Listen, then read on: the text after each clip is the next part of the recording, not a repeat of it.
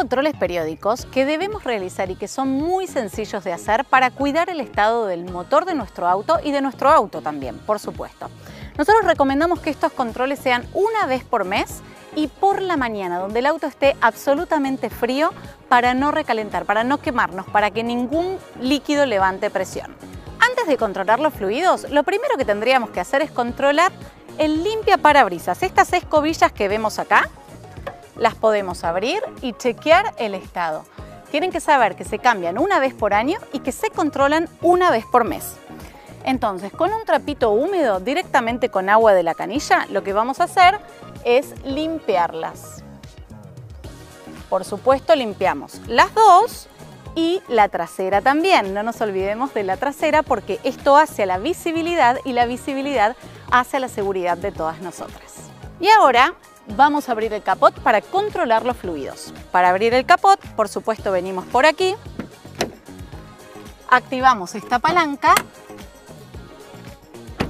y levantamos el capot. ¿De qué manera? Van a ver que tiene este botón y vamos a trabarlo en esta ranura que nos indica aquí la flechita. Una vez abierto, entonces lo que vamos a controlar es el agua del motor, el agua del lavaparabrisas, el líquido de frenos y el aceite. Lo primero que tenemos que hacer es ponernos guantes para no ensuciarnos y protegernos las manos. Cuando hablamos del agua del motor, lo que tenemos que tener en casa es un bidón de agua destilada, un bidón que podemos comprar en cualquier supermercado. ¿Por qué no poner agua de la canilla en el motor? Porque tiene sarro, entonces se nos puede oxidar. Por lo tanto, lo que tenemos que hacer es ponerle agua destilada, siempre y cuando fuese necesario. En este caso, si vemos el signo más y el signo menos del tanque del agua del motor, vamos a ver que está correcto, no es necesario cargarlo.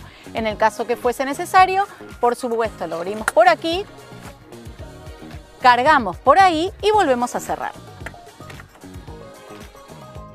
Muchos recomiendan que además de ponerle agua destilada al motor, también le pongamos refrigerante. En los climas que son realmente adversos, si ustedes viven en climas muy muy fríos o muy muy calientes, sí es necesario el refrigerante para que cuide al motor. Si no viven en un clima tan adverso, no es necesario. En el caso que ustedes vivan en un clima adverso y utilicen el refrigerante, la proporción es 4 litros de agua destilada y 1 litro de refrigerante. En el caso del sapito, podemos tener dos opciones. Lo ideal es el lava parabrisas. Es este líquido que podemos comprar en cualquier concesionario Peugeot o en un supermercado también. Pero sepan que si están haciendo el control de los fluidos y no tienen este producto en su casa, pueden usar el agua destilada que les comentaba recién y un poquito de detergente. Ni siquiera hace falta mezclarlo porque con el movimiento del auto esto lo vamos a lograr. Entonces si nos quedamos sin agua en el sapito, recuerden, agua destilada, no de la canilla, porque el sarro puede obstruir ese conducto y ponerle un poquito de detergente. ¿Por dónde cargamos el lavaparabrisas? Por este recipiente que tenemos por aquí. Ahí adentro lo llenamos, lo volvemos a cerrar y nos quedamos tranquilas. Este es el líquido de frenos. ¿A dónde vamos a estar controlando el líquido de frenos? Aquí. ¿Cómo me acuerdo que este es el recipiente del líquido de frenos? Es el que está siempre cerca del conductor porque justamente se une al sistema de frenos del auto. Entonces, esto también tiene un más y un menos. En este caso tenemos correctamente el líquido, por lo tanto no hace falta en este caso rellenar, pero lo abrimos de igual manera que los otros, cargamos, que ahí estoy viendo el líquido, y volvemos a cerrar. Y por último nos queda el aceite. ¿Qué recomendamos respecto a este punto? Que el control sí lo hagamos nosotras, pero en el caso de necesitar rellenar con aceite, cambiar el aceite, lo haga un experto o experta en un concesionario Peugeot, en este caso con el 208.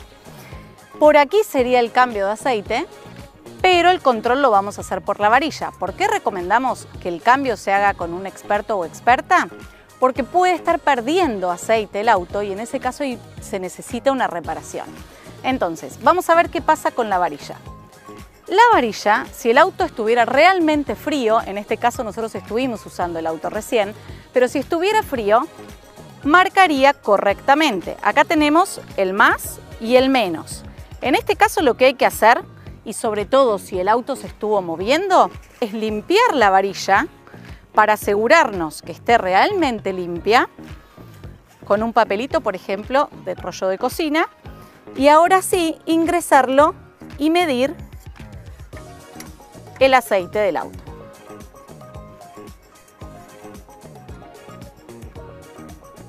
Ahora sí, ahí vemos que está por aquí. Esto quiere decir que está entre el más y el menos y está correcto.